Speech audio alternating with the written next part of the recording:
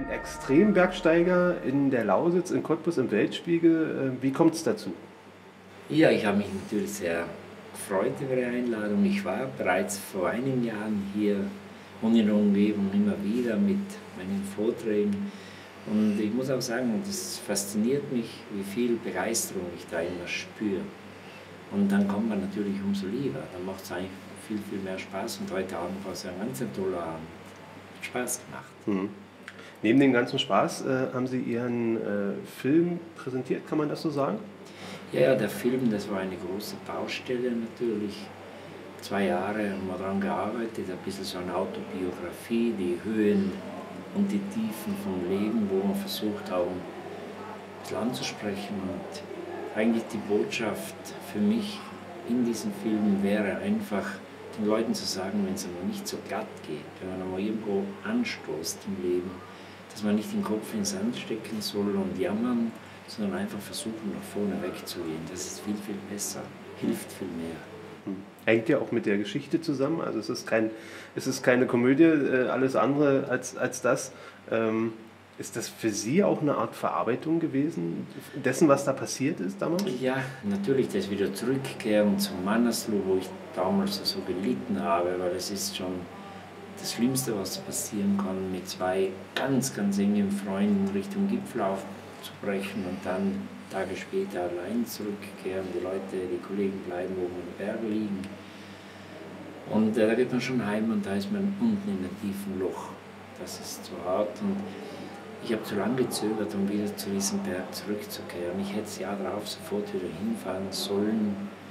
Das wäre sicher besser gewesen. Ich hätte leichter aufarbeiten können. Mal habe ich sehr gelitten die Jahre. Hm. Wie, wie kam das zustande?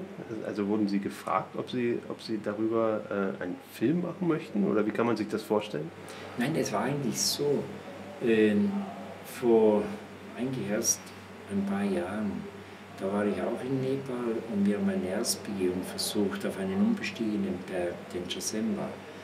Und da ist äh, bei der Vorbereitung, bei der Akklimatisierung mein Freund Bugalo ist beim Abseilen mitsamt dem Seil tödlich abgestürzt. Mhm. Und für mich war das ein, ein Horrorabstieg, plötzlich der Freund weg, das Seil weg und ich musste einfach runter, auf Biegen brechen. Und wenn ich unten war, dann äh, musste ich natürlich genauso wie im Mannersloh damals die Nachricht übermitteln. Das ist schmerzhaft, da sucht man nach passenden Sätzen und die gibt es einfach nicht. Mhm. Und äh, kommt, kommt, kommt dann die in der Erinnerung auch zurück? Muss ich mal eingreifen? Also wenn das wieder passiert, kommt dann diese Erinnerung zurück? Äh, nein, es war eigentlich so, es war ein bisschen ähnlich wie damals am Manaslu. Aber nur der Unterschied war, ein guter Freund hat mich dann überredet, das Jahr darauf noch einmal zurückzukehren. Und mit ihm bin ich wieder zurückgekehrt und wir haben diese Erstbegehung erfolgreich beendet. Und am Gipfel war ich richtig glücklich und froh, dass ich da war. Und haben wir dann auch gedacht, Mensch, Mannersloh, ich habe einen Fehler gemacht. Ich hätte genauso wie am Jasemba wieder zurückkehren sollen.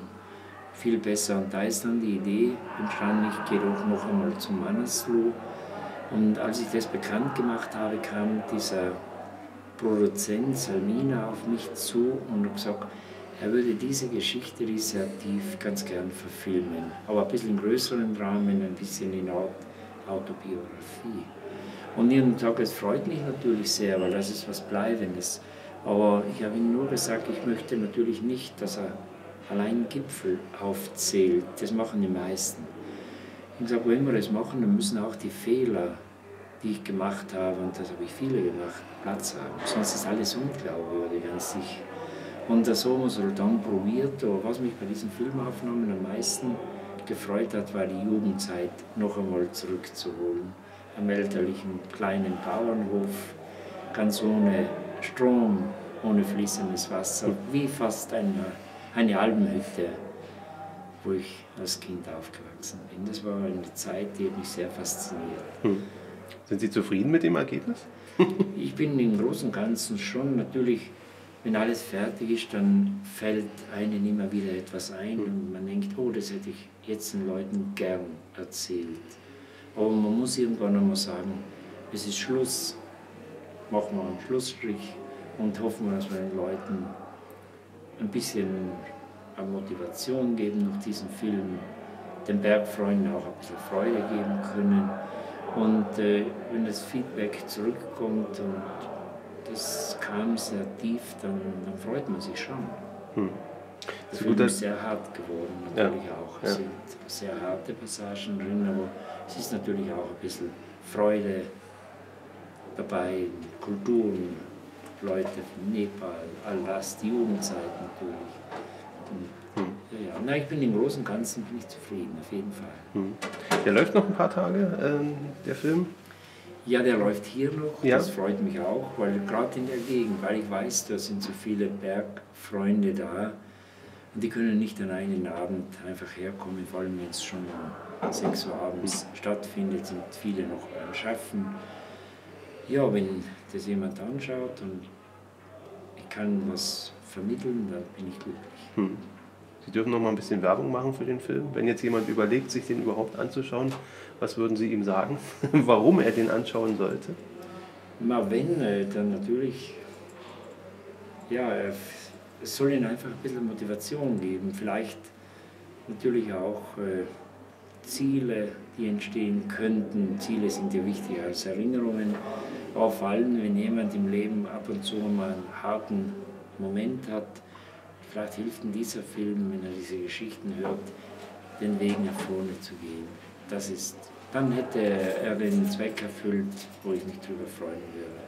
Das ist ein super Schlusswort. Wir sagen Dankeschön und alles Gute weiterhin. Dankeschön auch.